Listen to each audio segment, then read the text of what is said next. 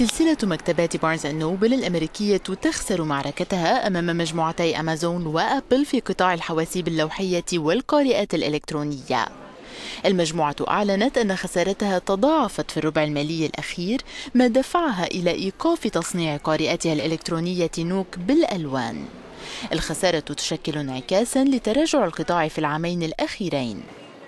الشركة الباحثة في الأسواق IDC توقعت أن يكون قد شكل حجم نقل القارئات الإلكترونية تراجعا سنويا العام الماضي بمعدل 28% وهي تتوقع أن يستمر في التراجع هذا العام والعام المقبل. بارنز نوبل ستستمر في تصنيع قارئاتها الإلكترونية بالأبيض والأسود والتي تمثل أغلب مبيعاتها لهذه الأجهزة.